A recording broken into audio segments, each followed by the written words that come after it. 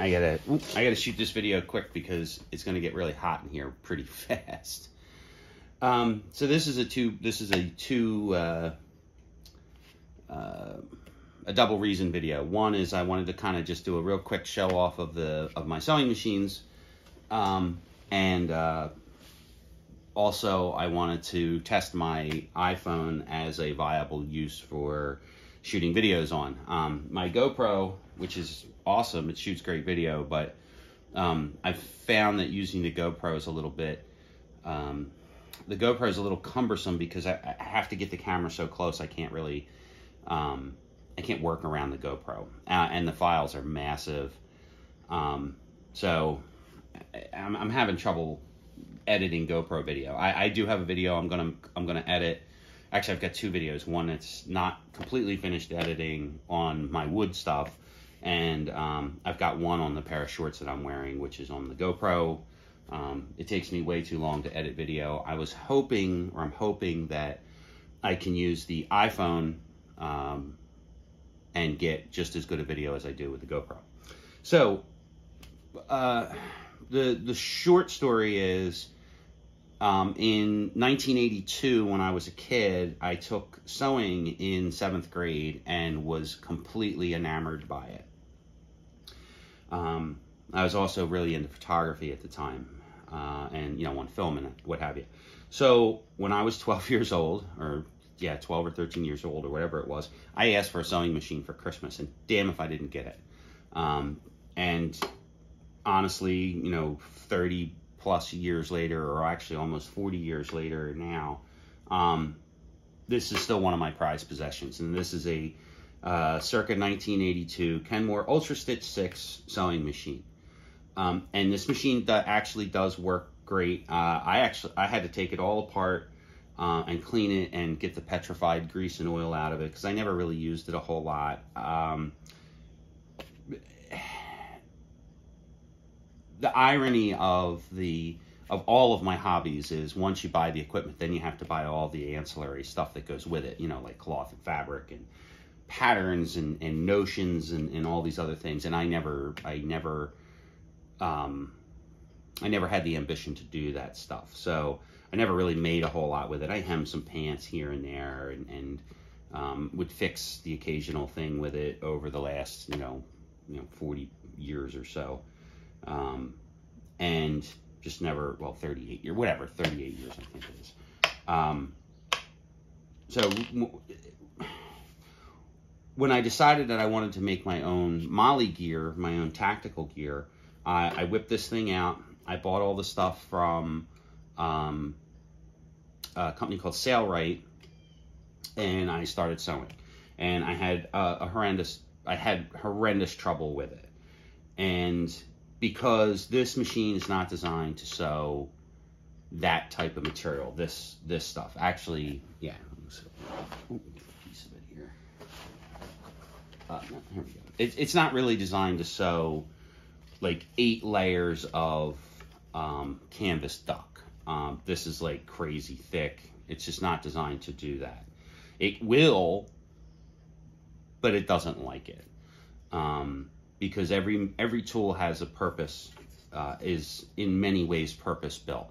Uh, commercial machine or uh, consumer machines are designed to do everything if you know how to use them. Well, I'm kind of lazy and I'm kind of a Veruca Salt. So I quickly grew bored with this machine, which is ironic because when I got this machine, um,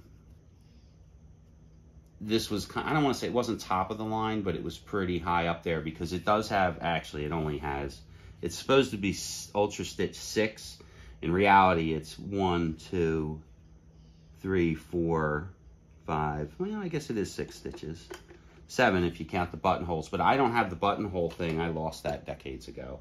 So I can't actually sew buttonholes with this without, um, uh, well, no, actually I could probably sew buttonholes with it. I never even tried. Um, adjusting this machine, this machine is a mechanical machine and it's kind of infinitely adjustable, which is cool, but it's also, yeah. So I have basically retired this machine for the time being because um, I fiddled with, I, I dropped it. Truth be told, I dropped it off this table and it hasn't been right since. I, I jammed something up. I broke something. I didn't break anything, but I jammed something up in the in here. When it hit the ground, it, it was not um, it was not happy. Uh, so I really need to sit down with this and fiddle with it a little bit to get it to to sew more evenly again using normal thread. I was using really crazy thick heavy thread. We're going to get to that in a second. So what was the next thing that I bought? Well, I watch a guy on YouTube. His name's Jason of All Trades. If you get a chance, watch his videos. They're really good. He covers a lot of these old mechanical machines, uh, and he makes manly stuff with his machines. Um, which is what I was doing, which is what I am doing. I'm making manly stuff. Uh, my bowling shirts are still manly.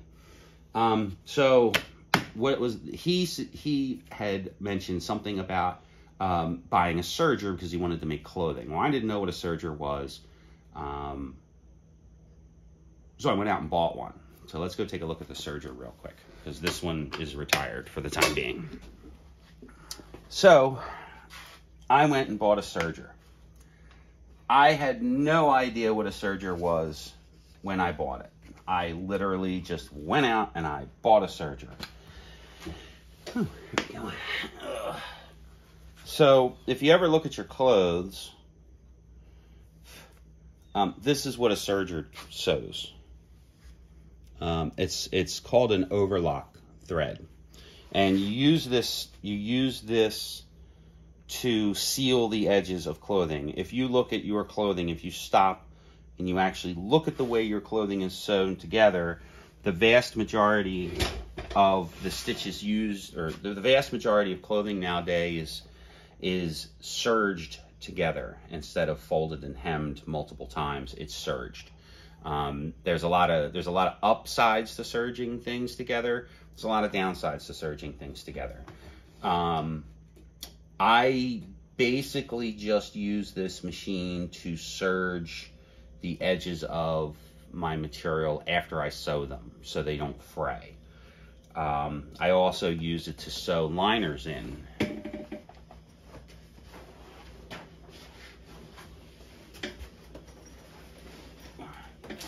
Um, it might be difficult to see here, but this is a serged edge. This is a liner for a bag. Um, let me see it's kind of difficult to see. Um, but I serged the edges together for the liners on the bags. Um, and it works great, but you can also see that I actually did sew this together too. Um, I don't know if it'll show up on that, but it, it is, well, that's what I do. Uh, and that's what I use it for. Um, this is a Brother uh, 1634 DX. Um, the DX indicates that it was bought at Joann Fabrics. Uh, this machine was only 250 bucks. Um, and once I got through the learning curve of how it works, um, and the way it works is really fascinating. Um, it, it, it, literally weaves this chain together, um, kind of like a feed bag.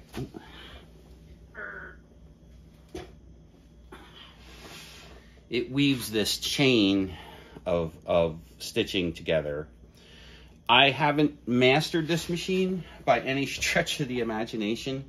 Um, basically, uh, someone who's really good with a serger can basically sew anything.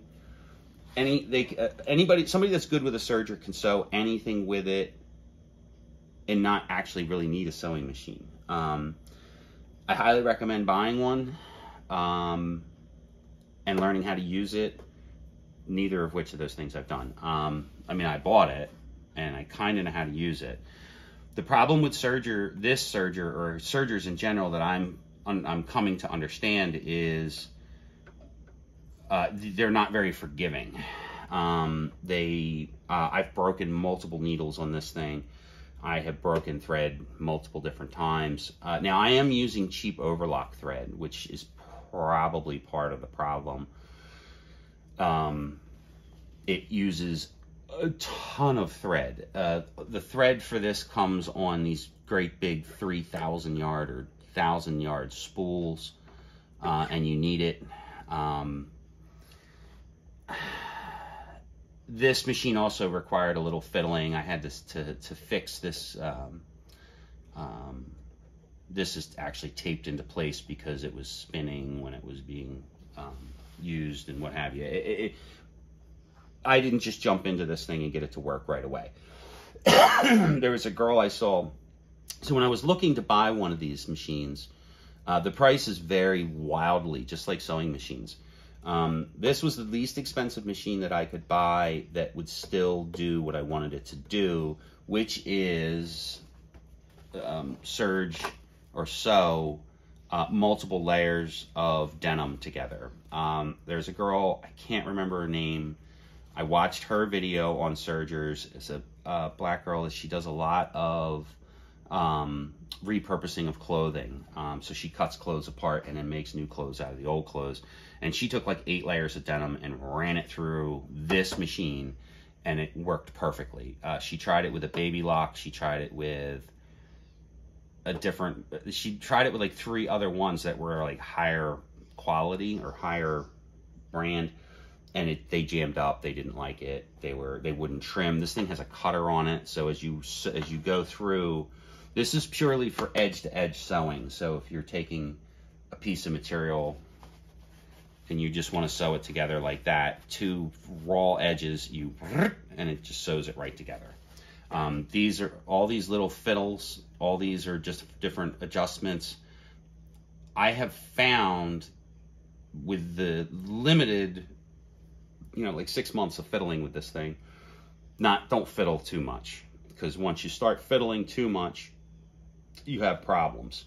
Um, I had actually originally, originally, originally bought this because I wanted to finish the edges on patches. And I quickly came to find out that that's a lot harder than you think it is. And they make a, a, special overlock, um, an overlock thread or overlocking machine specifically to, to do the edges of patches. Um, this will do it. It doesn't like to do it. I've actually had much better success with my Bernette, which I'm going to get to next. So this is, like I said, this is the Brother um, Lock 1634DX. I got it at, at um, I got it at Joann Fabrics. Uh, this also has a, you can do cuffs on this. It's got a, a thing in there. I actually have used that before. Oh, sorry, let's go to the next one over here. Now, this is the this is the Mac Daddy right here. Now, this I purchased. Um, I purchased this machine to replace my Kenmore Ultra Stitch 6.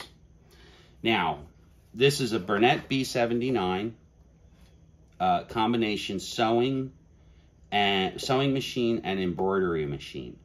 So this machine, I don't, I'm not going to go drag the embroidery module out because I put it away. Um, I, I, I had to build a case. I built a case for it. I built a case for this. I built a case for the embroidery machine or the embroidery attachment. The embroidery attachment's this big thing that goes on here and it's got a XY axis. Um, I'm, I'm still getting I'm still getting the hang of it. I've used the embroidery um, a lot, I've, or not a lot. I've I've used the embroidery part a good bit, and I'm still getting the hang of it. Um, there's an art to embroidery. You don't just put it in the machine and, and it makes beautiful embroidery. Um, you have to work at it. Now this is a computer controlled machine. Um, now it's a computer controlled machine, but it still only has one drive motor. Now, I found that out the hard way um, recently because I I broke it. Um, the poor girls down at Hayes Sewing Machine are I are I can't decide whether or not they're sick of looking at me or they're enamored by the fact that I could do all this stuff or I want to do all this stuff.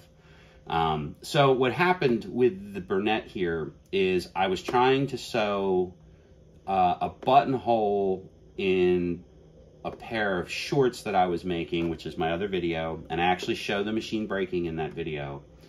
Um, it, it, I didn't break the machine. what had happened was, or what happens with this machine in particular, with me, with what I was trying to do, is I overloaded the machine. Period. I way overloaded the machine.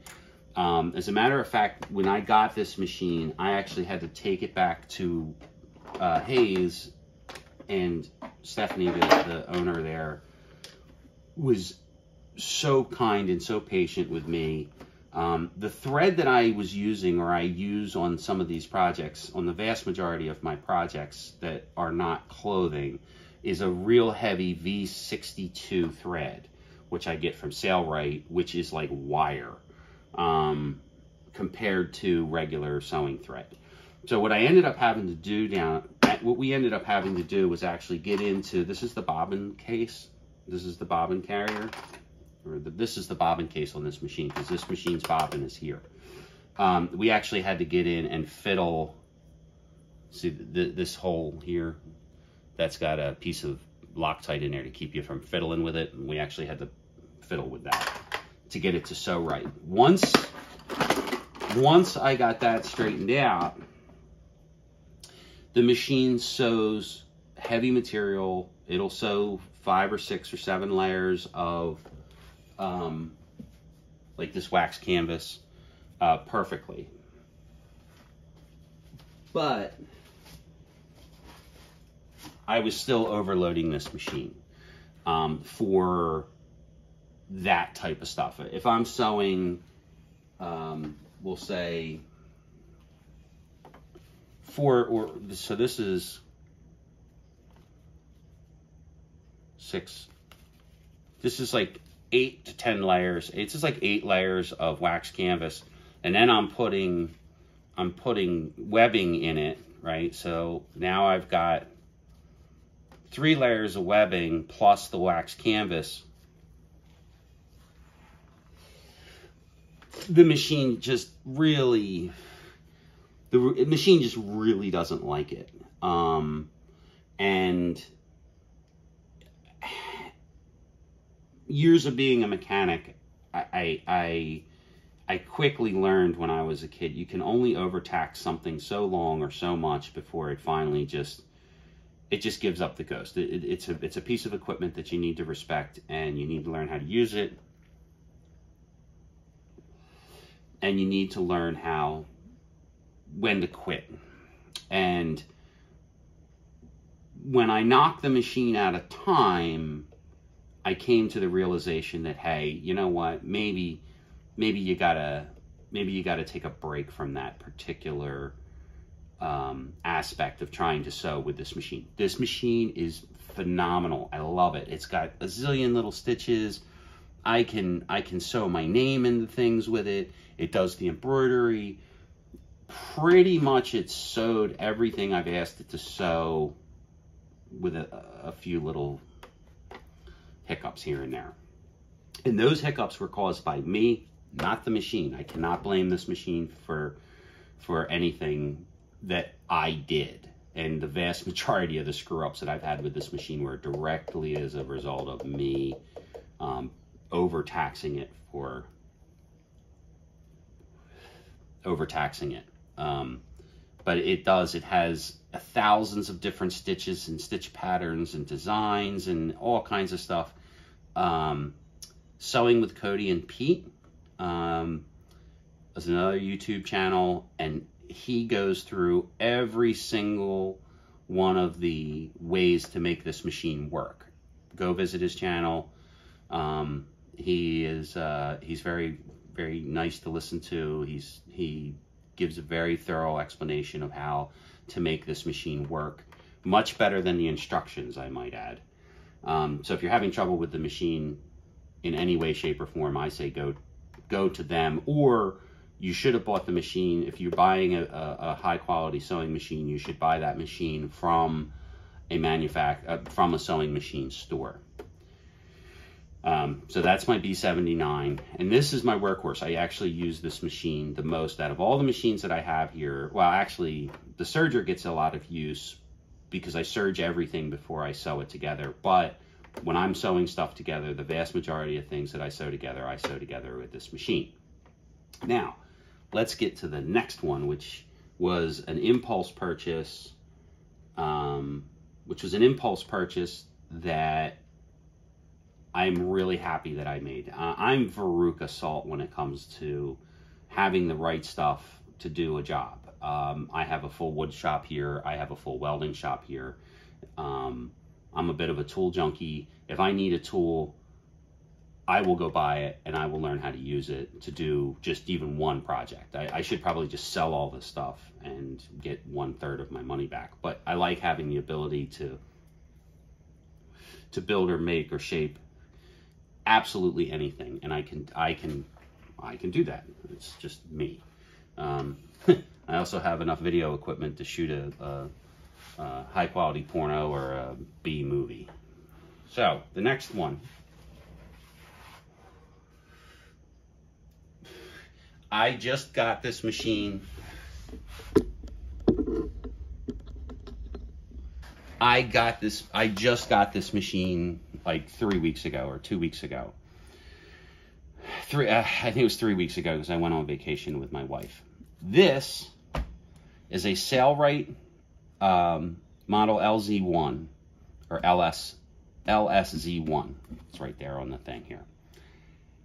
I did an unboxing video of this, which I'm gonna do. I'm gonna put that up first, and then I'll then I'll go over this machine.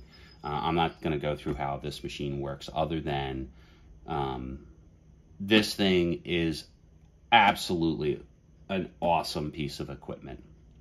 If you're sewing bags, um, this machine is made is this is a light industrial machine. Um, it is a it's a it's a walking foot machine. So the Bernette actually does have a built-in walking foot, which is which is ph phenomenal. But this machine is a real walking foot machine. This this thing you can see. I don't know if you can see it in the video. The the foot moves up and down. The paws move up and down. This machine is specifically built and designed to sew this stuff. As a matter of fact, it, it's kind of it was kind of funny um, when I got this machine, this this was the sew test that came with this machine. Um, this is one, two, three, four, five, six layers of upholstery vinyl. Um, I bought this machine so I can do auto upholstery or boat upholstery or make like to sew sunbrellas. Uh, this is sunbrella material, uh, which is the and this is two layers of sunbrella. Now, the other thing is that this is V92 thread. Um, the machine came set up to sew V92, which is, um, this stuff is crazy thread. This thread will outlast um, the stuff you sew together with it. Um, this is the V62, which is, you can see in the video, I mean, you, I don't know how good the camera is going to show this, but you can see the, you can physically see the difference in this material, in this thread. Um, now, this machine has, for me, a, a real big learning curve. Um, and I also should add that I purchased the premium package with this machine, which uh, is, I like I said, I have an unboxing video, which I'm going to put up. Um, so I paid uh, about $500 more for this machine than it's advertised for on the site. So the, the the uh, so I got a carrying case with it, which is much nicer than the ones that I made. Um, this this this is designed to be carried someplace. I went with the larger. Um, I, I have the larger. Uh, they call it the monster flywheel on this thing, which is incredible. Um, it will drive. It will drive a number twenty needle through this material like it's not even there. Um, now I have broken a few needles on this already, but that's because of, I'm I am weird. I I I pushed it to the very limits of its ability, and I snapped a needle doing something dumb. Um, I was trying to sew. I was trying to go like this. So I had like this amount of material, and then I had this amount of material, and I was trying to get it to walk over it. It did it. Um, but then when I backed it up, it snapped the needle, um, which that happens. The beef I have with this machine, I have two, I actually have two small beefs with this machine. One is um, it takes a good bit of time. It, it takes a lot of practice to get it to produce a really nice, clean, um, distinctive stitch.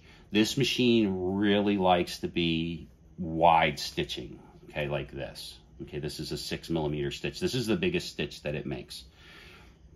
Um, and it requires a good bit of fiddling to get it to produce a perfect looking stitch. You, you're you're playing with the um, you have to uh, do, there's a lot of tension adjustments that have to be made.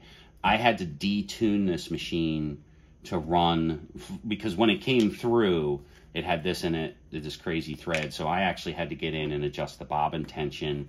I had to adjust the, and I'm constantly fiddling with this upper tension. Uh, the other thing I, I really don't like about this machine, and I'm actually going to tag Sailrite in it, is I'm not crazy about the way this works.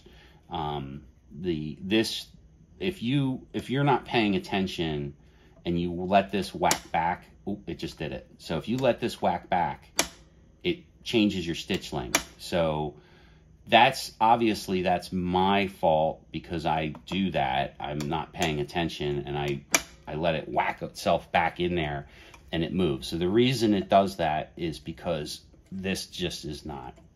This should be knurled or, or, or it should have something on it that makes it so it doesn't move. Um, I'd also like to see this made out of like aluminum or something like that, but that's um, that would greatly increase the cost of the machine.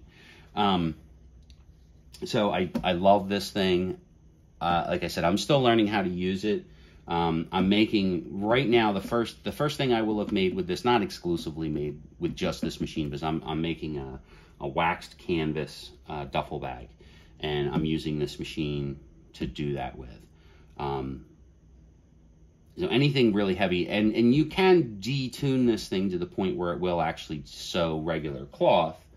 Um, oh, that's, uh, but it, what it's really made for is is uh, like cotton, heavy cotton duck, this wax canvas, um, you know, sunbrella material, webbing. It's great for webbing. Um, it came with a um, binding uh, arm, which was something that I really wanted. So the binding arm fits in here. You feed your binding material in and it'll fold it perfect. It'll fold it over and then you can use it to bind an edge with. I haven't done that yet. Um, I'm probably, I am going to do that. I've bound edges with this, but I didn't use the binding tool. Um, I just folded it over, clipped it, and sewed around it.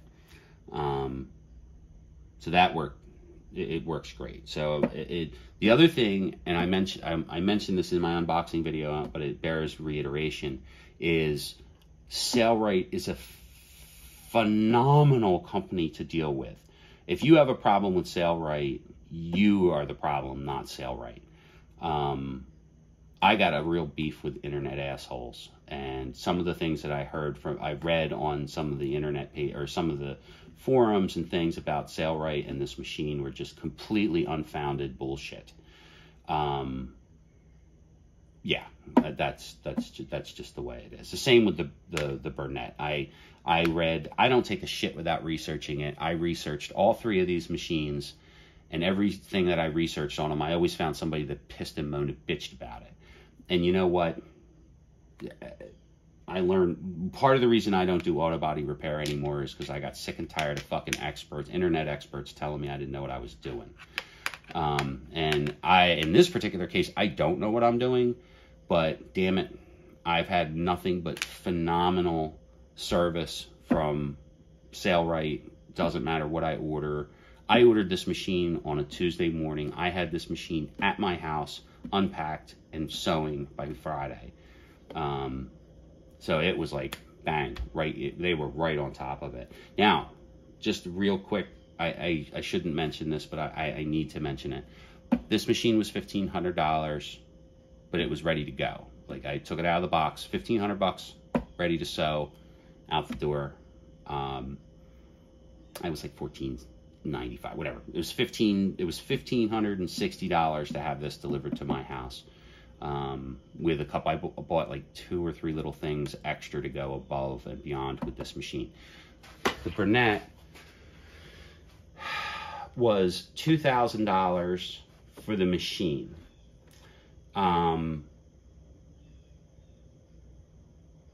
i the, yeah the, the Bernette was $2000 the problem with the Bernette was I had to also purchase software to make the embroidery other than the embroidery stuff that's in the machine here.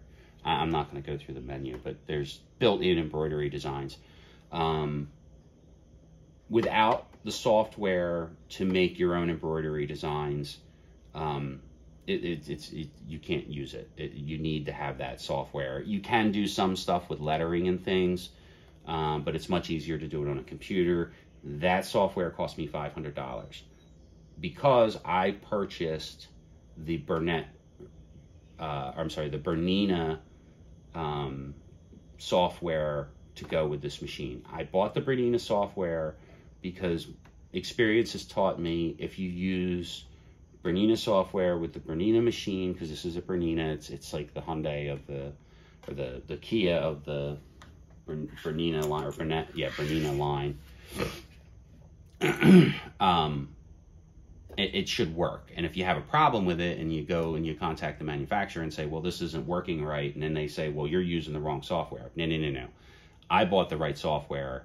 I bought your software. Why won't it work? but I haven't had any. I really honestly haven't had any real problems with it that weren't caused by, once again, user error and not knowing how to use it or work with it. Um, and then the the serger, uh, I mentioned I paid two hundred fifty dollars for the serger. Um, so I've got a lot of money tied up in my sewing projects. Um, it, it, I never I never intended to make any money with this. Uh, this was purely um, something that I wanted to, to, learn how to do.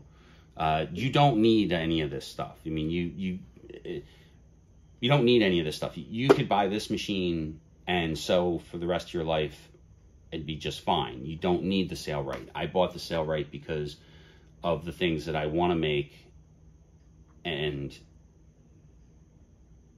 so I'm not overtaxing this machine.